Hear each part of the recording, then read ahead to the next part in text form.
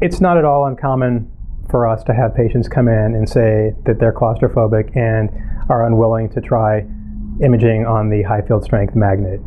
Now, to what degree that claustrophobia is, we don't always know because sometimes we don't even get the opportunity to try.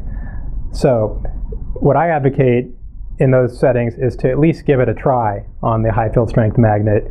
Um, and if it doesn't work for you, then we can always image you on the low field strength open sided magnet.